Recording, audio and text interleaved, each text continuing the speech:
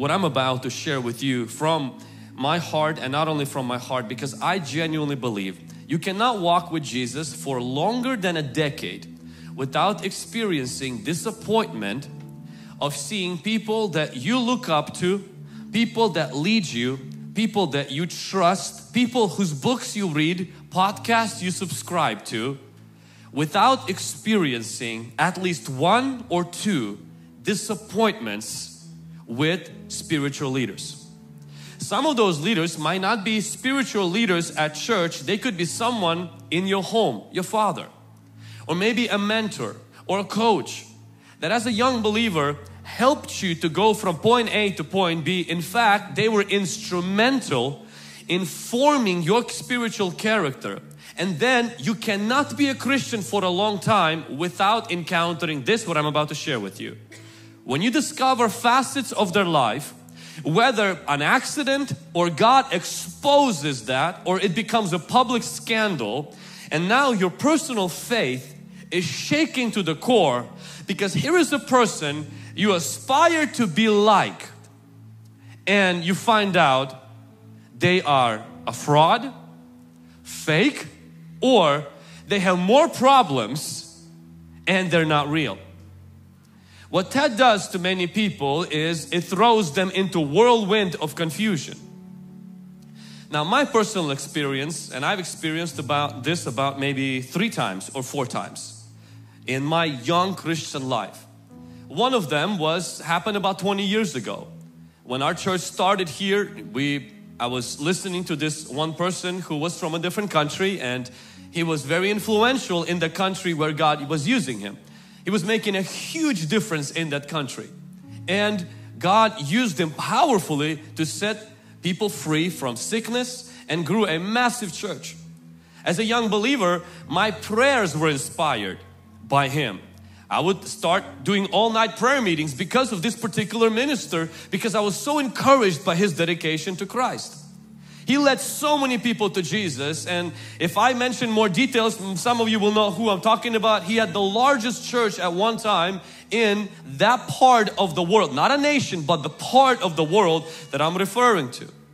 And then later on it came out that there was a lot of other things that this person was doing. They were ungodly, immoral, and it became a public scandal and most people found out about him when he fell not when he was used by God it was disappointing I was like if this happened to someone that prays a lot fasts a lot and leads many people to Jesus what chance do I stand what if that's gonna happen to me I'm a young leader and I remember seeing someone else that this happened to someone else that this happened to, someone else that this happens to.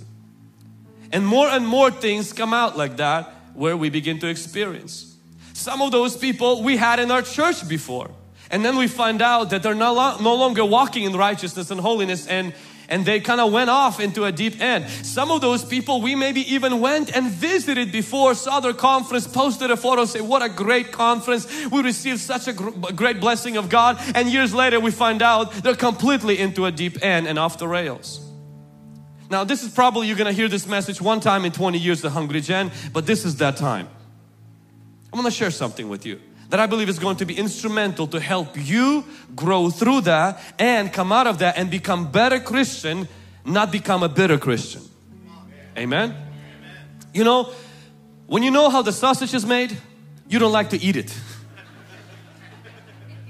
when you stay long enough in the church, and you see the drama you see the politics you see the you see the the faultiness the fragility of people you see the weakness of, of people especially people in leadership and especially the ones that kind of become famous and, and big. I remember like when i was you know just a few years ago listening to ravi zacharias and just just weeping listening to such a powerful messages. And you know he dies and then the reports come out the investigation comes out about his life and what he actually was doing behind the scenes. And it's it's devastating it's heartbreaking, it's confusing.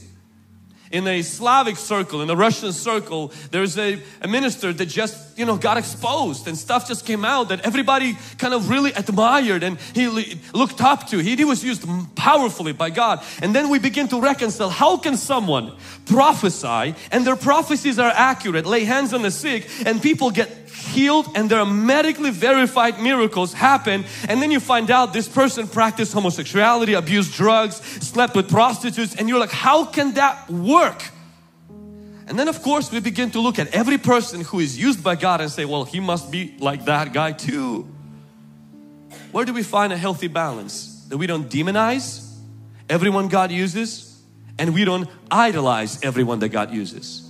Where do we find a healthy balance where we don't glorify miracles but we also don't dis, on miracles because miracles for us is a testimony but for young lady that's her life.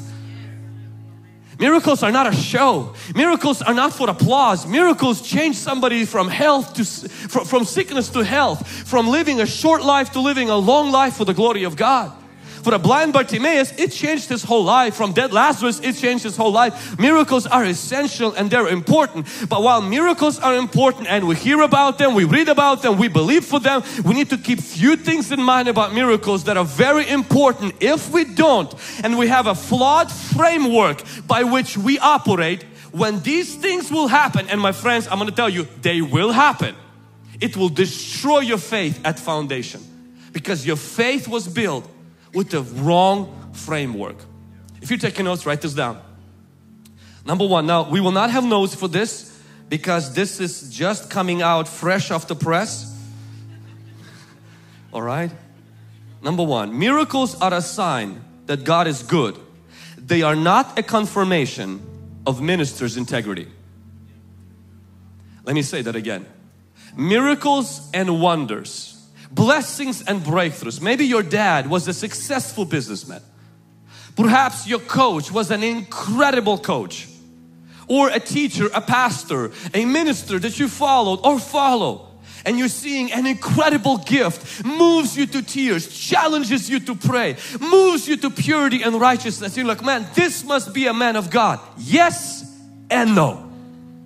Yes, in the sense that it is God's goodness and God's mercy do not rush to connect a miracle, blessing or a breakthrough as a validation and stamp approval of God on this person's life, integrity, privacy and their character. Are you with me?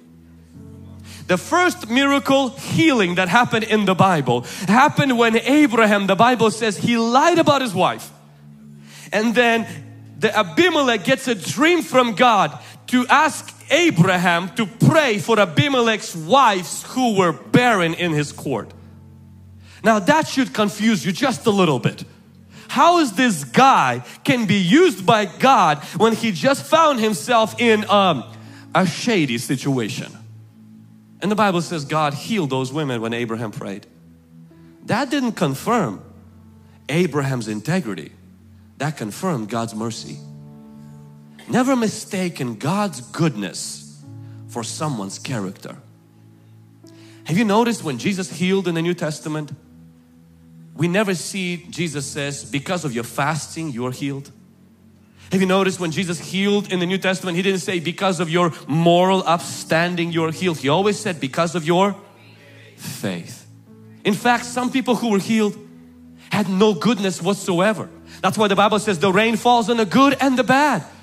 God is gracious. God lets His sun shine on everyone. God can let His breakthrough just touch everyone. You may say, but why would God do that? Because the goodness of God leads men to repentance. God hopes that when I give Him good to you, when I give you mercy, when I give you a miracle, it can lead you closer to me. That's why the Bible says Jesus rebuked cities where most of his mighty works were done, they did not repent. Meaning they experienced a miracle. They said, Oh, God must be pleased with me. Jesus says, No, He's not. He's asking you to repent and that's why He's showing you a miracle to draw you closer to Himself, not to confirm the lifestyle you're currently living. Never mistaken God's breakthrough in your life as His approval of your life. Oh, come on somebody, that, that could go on Twitter right there. Write this down. I might need to write this down myself. Never mistake God's breakthrough in your life as His approval of your life. God's breakthrough, sometimes it's actually because God sees you're in sin and hopes to bring you to repentance. You may say, but uh, God always convicts us to bring us into repentance. Yes, But the Bible says it is the goodness of God that leads men to repentance. The Bible says when it comes to Ahab, Ahab was one of the worst kings in Israel. And the scripture says, the prophet comes to Ahab and says, an enemy is coming against you and the Lord will have grace and you will have a victory. And this is the verse that it says there. It says, so that you will know that the Lord is God. Meaning God says, I'm just gonna bless you so you know me. Ahab, the guy who was bad boy. His wife, you probably don't know a lot of people's wives in the Bible. You know his wife. We have videos on her. We preach sermons on her. Her name is Jezebel. This guy was as bad as they come and God gives him a breakthrough in his life for one reason that he will know God. How could a good God be good to somebody so bad? That's why never mistaken God's goodness as an approval. It's an invitation to know Him more, to repent, to draw close to God. That's why Jesus said, people will go and do these wonderful things in my name. And Jesus says, but they don't practice righteousness. And I know this is hard for us to comprehend. How can someone do this and not love Jesus? It's easy. Many times they started loving Jesus and deceitfulness of sin, previous traumas, sinful influences, and because they were getting away with it, they thought that as long as the ministry is growing, books are selling, people like me, I feel good when I minister. You know, everything is fine. God must be pleased with me. And instead of repenting, what they did is they started to look for a relief and they started to become better at covering their sin than confessing their sin. And they, you may say, but these people, they had a, a board in their life. They had a covering in their life. They had an accountability. See, you have to understand one thing about the human heart. It, it is sneaky. And the higher you go with God, the more sneaky you become. When you're young, your, your heart is like a baby skin. When you get grow older, you can learn to trick other people. And the worst part is when you start tricking yourself into thinking, I got away with it. Nobody saw it. Achan, you know, put the stuff under his tent. They still won the victory. God must be okay with it. Why? Because He wouldn't bless me if He wasn't. And that line sets in. And so now instead of repenting, seeking help, we simply keep on doing it and we say, I'll manage this. I, I, got this under control. It's okay. But see, the problem with sin is sin is a snake. No matter how much you pet it, it's still a snake. And it grows in the dark and then it bites. How can someone be used by God in powerful way and not please Him? Well, it's simple. Paul tells to the church of Corinth, who the Bible says lacked no spiritual gift, meaning they had all the gifts functioning at full capacity. But read the book of Corinthians. You're thinking he wrote to the church in Las Vegas. I mean, literally, one chapter, one guy is sleeping with another person, another chapter, they're fighting. You're like, this is one of the most immature, perverted, twisted, per bad churches of, this is the bad church of the New Testament. How could gifts flow so freely there? Because this is what the church has taught us wrong, and you probably have heard this we need to get holy and righteous and then the power of God will move through us. How many of you heard that? How many of you have said that? It is not a complete statement. I'm not saying it's 100% wrong, but it's not a complete statement. Why? Because if that would have been complete, why did the gifts flow freely in the church of Corinth when there was sexual immorality, when there was disunity, when people were suing each other, and there was literally every fleshly thing in the church of Corinth, and the power was moving. That tells me God's power doesn't move through character, it moves through faith. And some people have a lot of faith and very little character. And some people have a lot of character and no faith whatsoever and they're polishing their character, polishing their character and the power is not moving. Not because the character is not polished, but because their faith is not released. So what does this mean? Do we ignore character and just activate our faith? No, that means we need gifts of the Spirit and the fruit of the Spirit to function at the same time to be healthy Christians. So that we walk in power and we walk in purity. So we walk in the gifts and we also walk in the fruit. That's why we don't say that at Hungry Gen. We need to fast so God can move.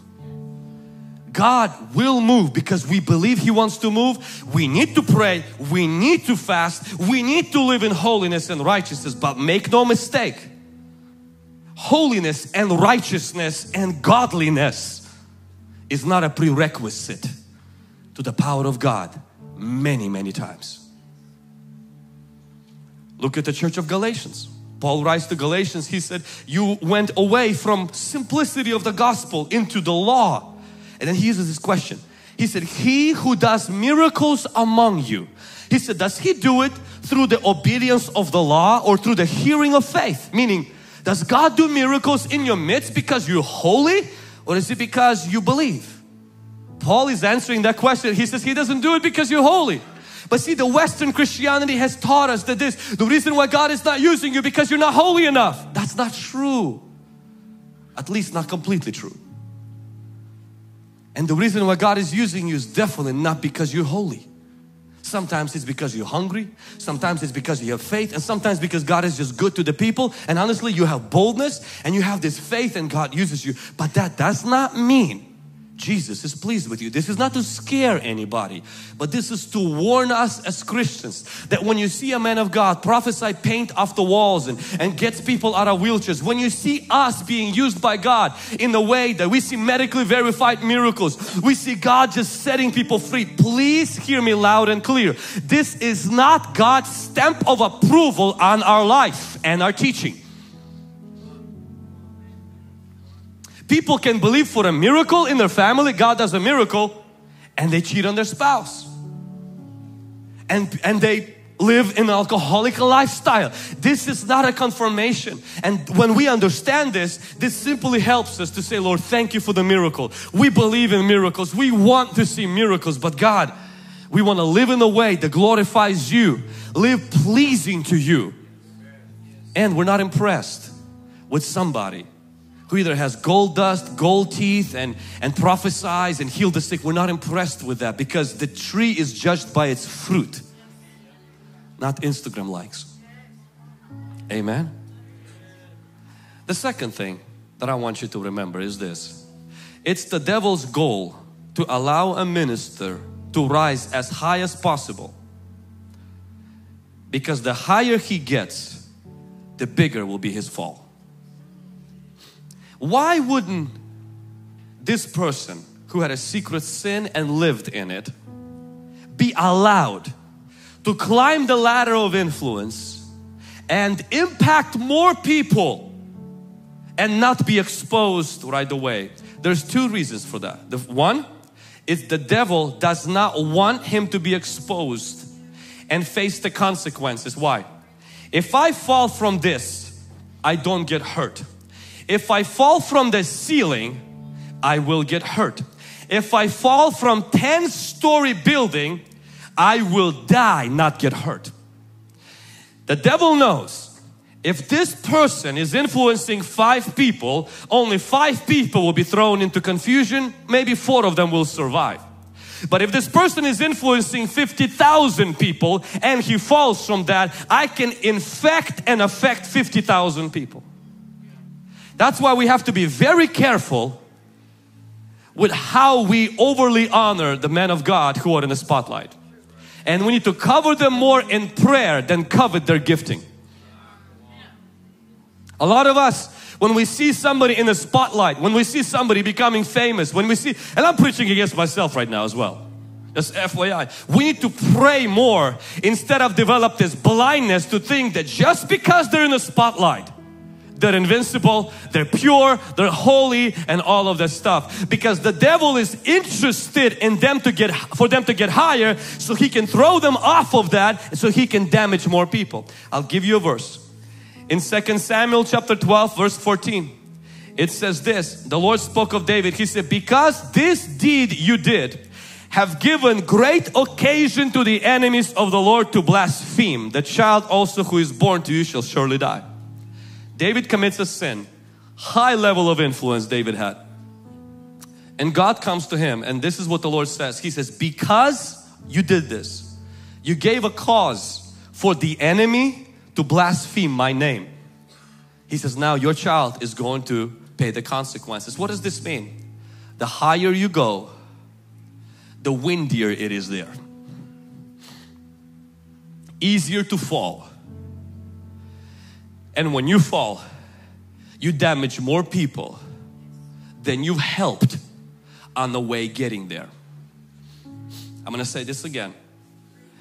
The higher you go as a businessman, the higher you go as a father, as a mentor, as a leader, the more God uses you, the more people you're gonna help. If you allow a hidden offense, bitterness, unresolved, undealt sin, the devil is interested that nobody finds that out.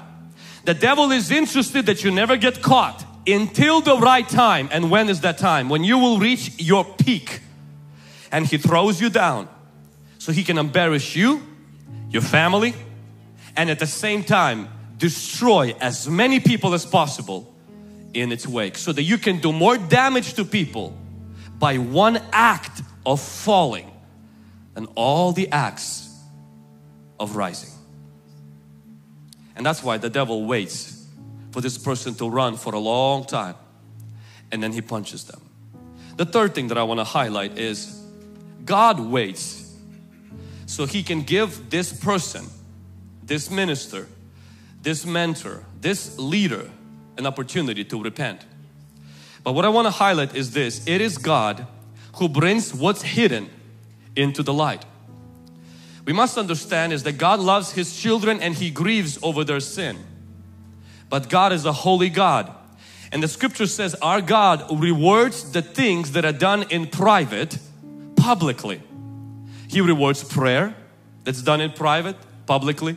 He rewards fasting that's done in public that's done in private publicly. He rewards giving. So our God pretty much what He does, He specializes in looking at private things and rewarding them publicly. And most of us stop there and we're like, oh yeah, this is great. I need to pray, fast and give. Yes.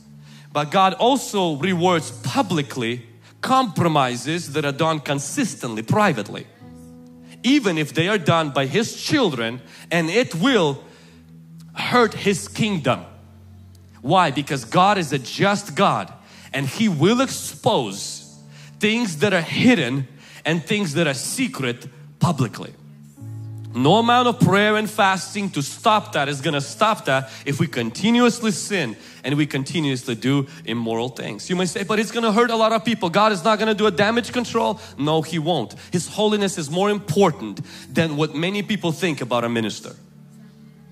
God is more concerned about His righteousness and His holiness than He is about what you and I perceive about a person. Now at first it will seem like I want to destroy your faith in man women of God and people that are in the high places that are used by God. I don't want to destroy. I just want to shake it so much that you stand on God, not on man.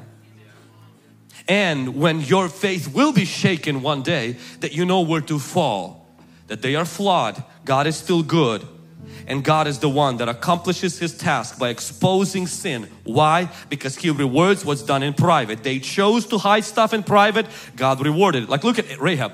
Rahab hid the spies, God rewarded her and she changed her future.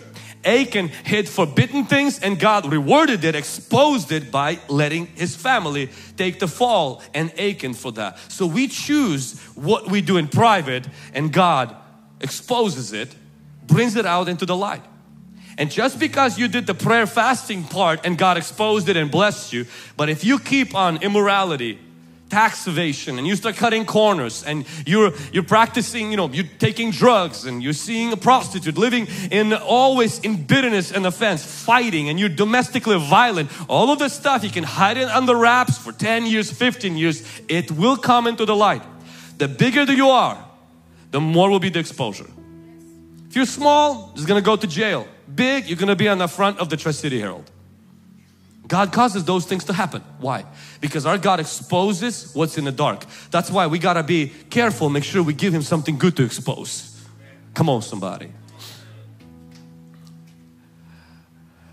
Number four, when we notice sexual immorality, dishonesty, deception, denial of core doctrines, bitterness, divisiveness, abuse of power, neglect of responsibilities, lack of self-control, neglect of spiritual duties. We cannot bury our head in the sand and pretend it's okay. Because God is moving, God is doing great things. We need to speak up, confront that person in humility privately, hoping for their restoration if they change. If they don't, we report to others who have more authority to bring correction and discipline. But most importantly, we do have to either distance ourselves or remove ourselves from that environment. And some of you maybe came from that church, you came from that kind of a family, or you came from that kind of a place where maybe you sat under a toxic, abusive, divisive, dishonest, sexually immoral, bitter, abuse of power, neglecting responsibilities environment. We don't say that God didn't work there, but somebody else also worked there. The devil worked there. Human flesh worked there.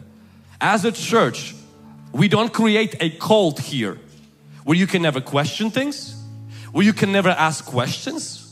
We don't create a lordship in our leadership where our leaders are lords and our church is a cartel.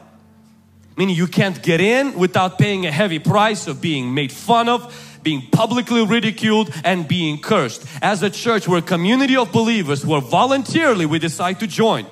Well, we support the mission of the church. Our pastors are our leaders. They are not our gods. Even if they walk in the power that splits the Red Sea and flies get healed when they walk, it still makes them human.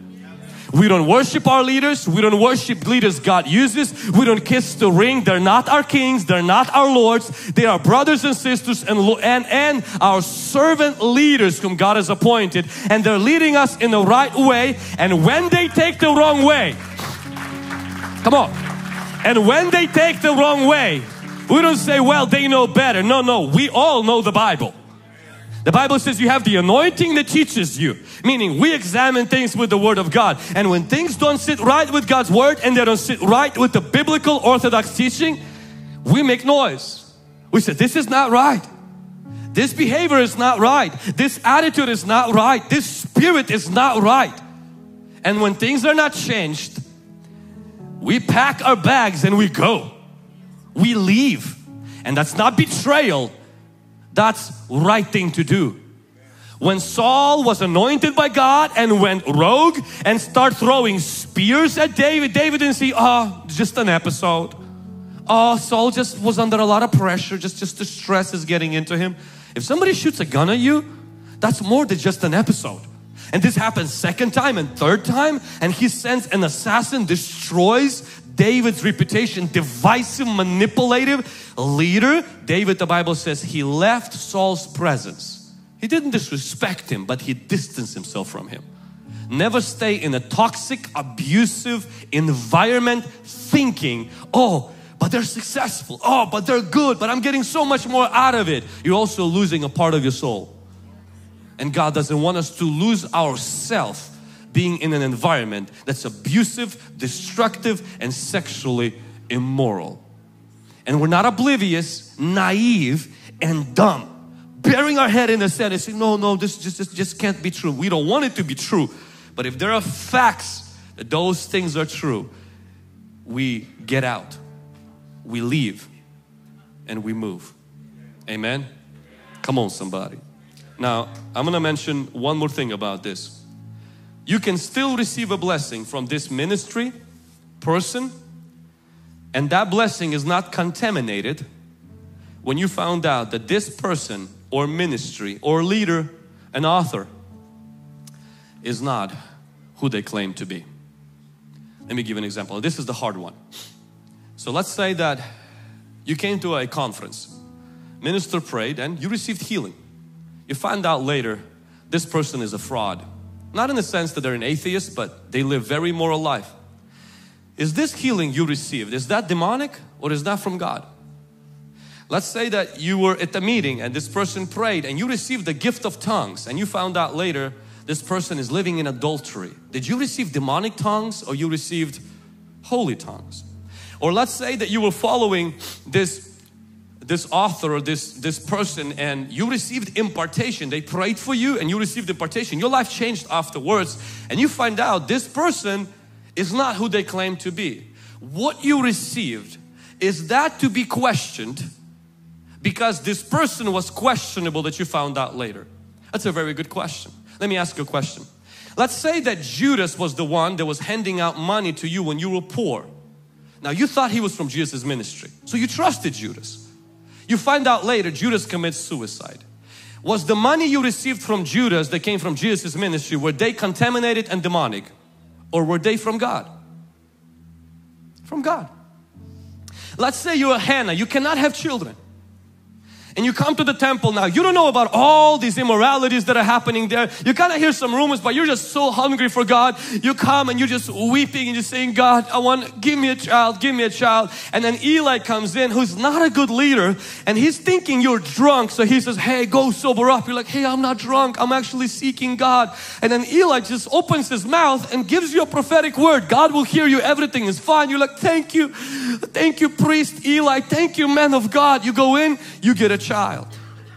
You actually put your child in a temple system that later on you find out has been mishandling money, has been sexually immoral. Let me ask you a question. Is the boy miracle you received from this place, is that miracle contaminated because that place was not right?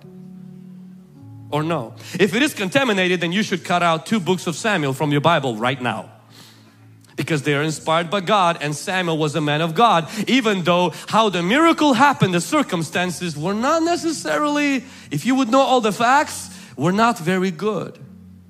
So what I want to encourage you is this. While we're not oblivious naive and dumb we also have to understand we don't look to men we look to God when you come and you receive a healing and a minister prayed for you, maybe a Hungry Gen or another ministry, and then you find out some down years the road, he's no longer maybe walking with the Lord. He deconstructed, deconstructed or, or left Christian faith. Or you read a book, listen to a song that ministered to you, you find out this person is no longer walking with God. In fact, even when you were listening to them, watching and receiving, they were already on the way out. This doesn't mean that what you received is demonic.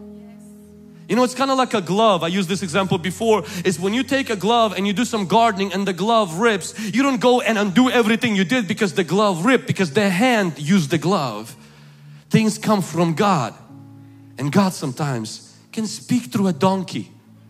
God sometimes can use an aunt and to speak to a foolish person. God sometimes can give a dream to a Pharaoh. The Pharaoh was he, Pharaoh believed he was a God himself. God can reveal a dream, prophetic, accurate dream to Nebuchadnezzar. So just because God used somebody, this doesn't mean they were good and it doesn't mean that that which God did was bad. Amen. Amen. Now, how do you personally pro process all of this?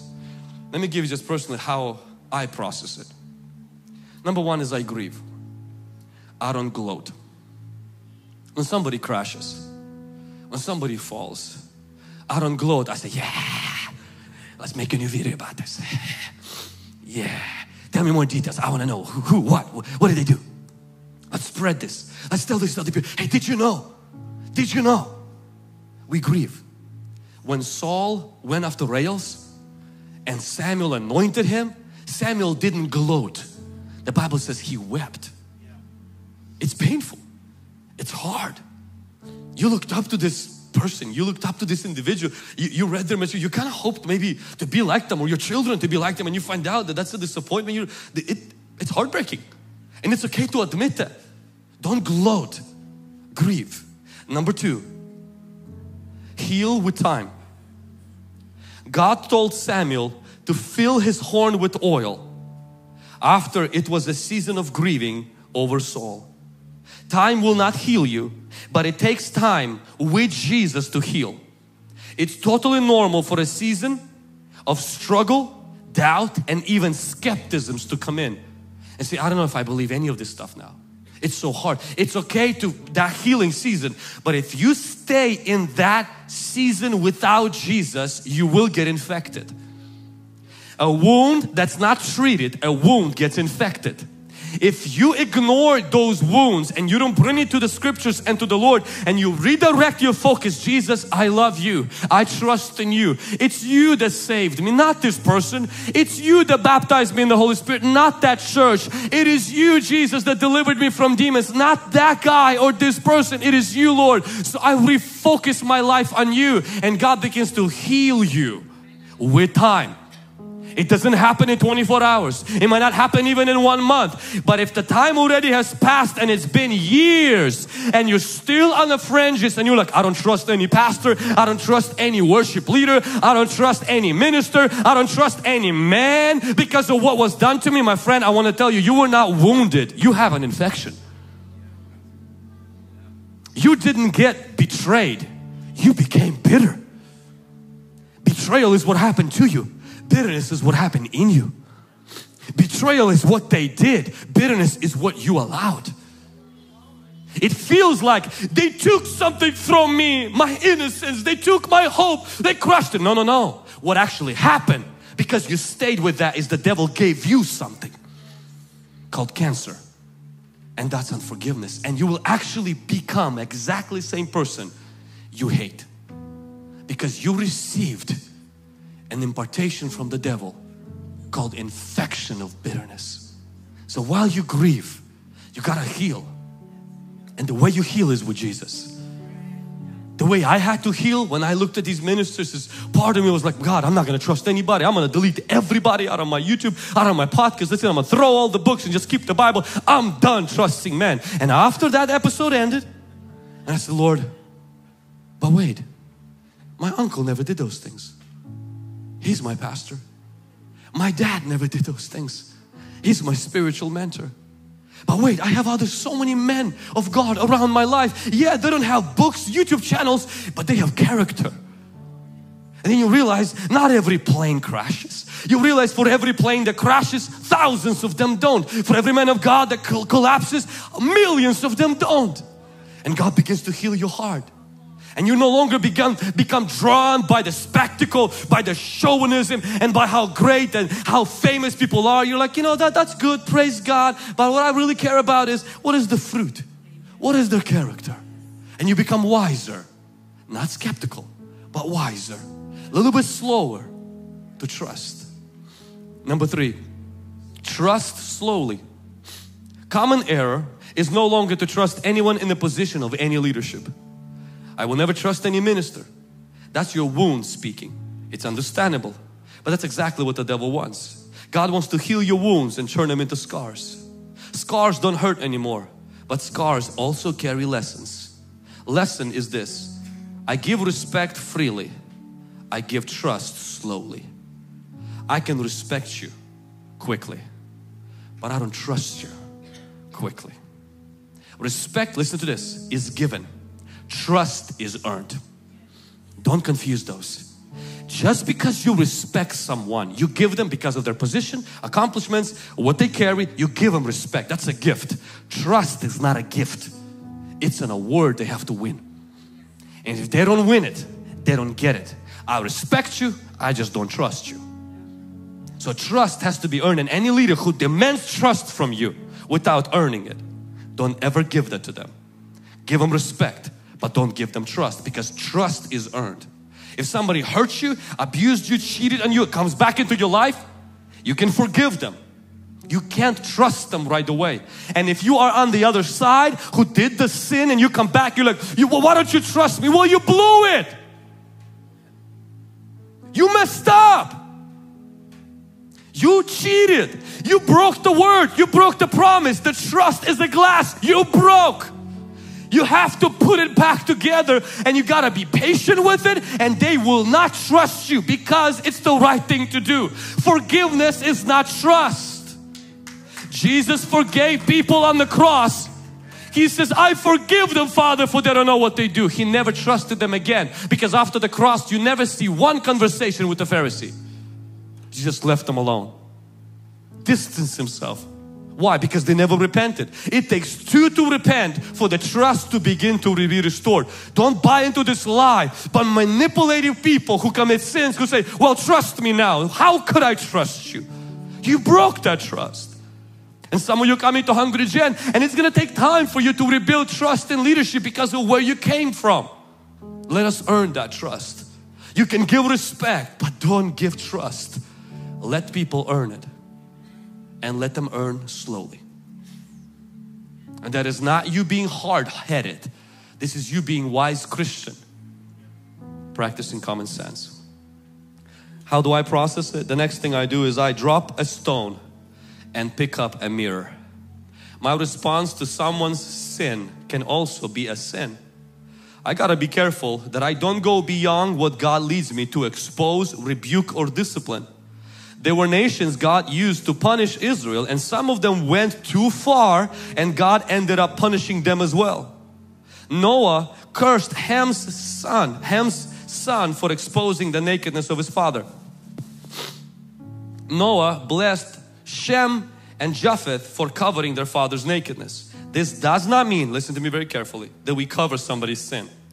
This simply means we don't go beyond what is wise in exposing, punishing, and rebuking. Why?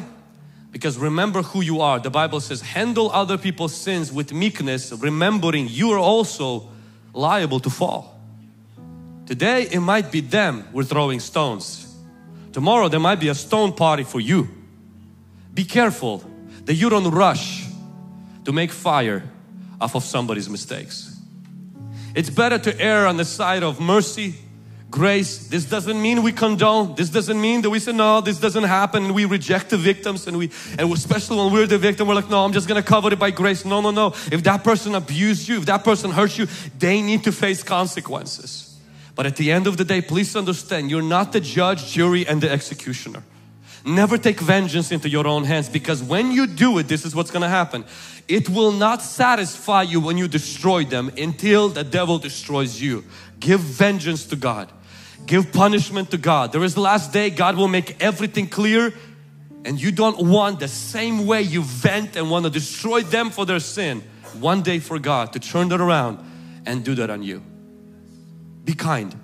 Even when people fall in your heart, have mercy. And Jesus did this thing, caught the woman in adultery. Yes, she cheated on her husband. Yes, she was wrong. Yes, she deserved to get a stone in her face. Yes, yes, yes, yes. The law says yes, she deserved to die. But Jesus handed everybody a mirror and He says, take a good look at yourself. And once you did that, do you still have the courage to throw a stone? And most people when they pick the mirror, they drop the stone. This does not mean again, people don't need to face consequences. People don't need to be rebuked and they don't need to face the music. This does not mean that. It simply means as a personal vengeance, I gotta have a character. The moment I rush to pick up a stone on you for what you did, I gotta pick up a mirror. Be hopeful. What does this mean?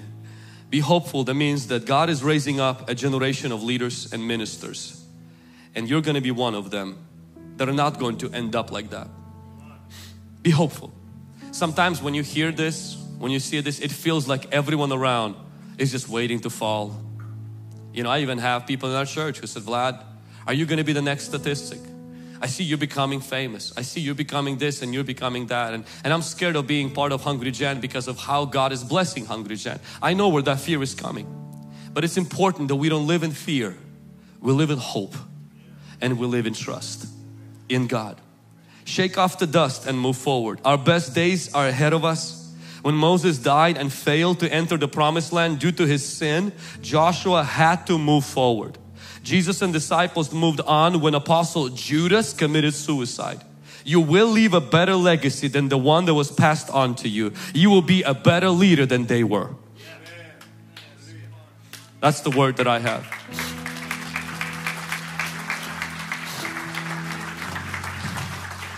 You might not be as powerful as they were. You might not be as famous as they were. but you will leave a better legacy. I speak that over your life in Jesus' name. That you will pass on a better blessing to your children than what was passed on to you. Maybe what your father left you was just not good and you're like, man, I don't want to do exactly the same thing to my children. And there's fear that's coming in. I'm here today to tell you that Joshua did bring people to the promised land when his mentor failed to do so because of their sin. And Joshua was a better leader in the sense he brought people there where Moses failed. And you can bring your family, you can bring your cell group, we can bring our church to the places where God has for us. Just because the previous leaders or because the previous mentors have failed to do so for the glory of God. Why? It's not by might, it's not by power, it's by my spirit, says the Lord. It's going to be God who will sustain us, it will be God who will keep us, it will be God who will raise us, and it will be God who will protect us. I want you to rise to your feet. Amen. Did you receive something this morning? Come on, somebody. Now, some of you are like, what? Who fell? What is Vlad trying to answer? Honestly, nobody. But do keep this message somewhere in the back of your head. Save it on your YouTube because you might need to visit. I can't tell you how many people walked away from Christian faith over this one issue. When what they saw, what they've experienced, they didn't know how to process that. And the devil used that to shake the very foundations of their faith. And I want our faith to be built on who Jesus is, the gospel. We love our leaders, we honor our leaders. We love our parents, we honor our parents. But my faith is in the cross, in the power of the gospel. One day I will not be here. One day you will not be here. If God Lord tarries, another generation will come after us. Our desire is to leave a better legacy than it was left to us. Raise it up. And that's why while we're hungry for miracles, church, please understand, our church is about discipleship. It's about winning the lost to Jesus Christ. It's about raising the next generation. It's about developing a pace, not so we can grow super fast, but so that we can grow healthy for the glory of God.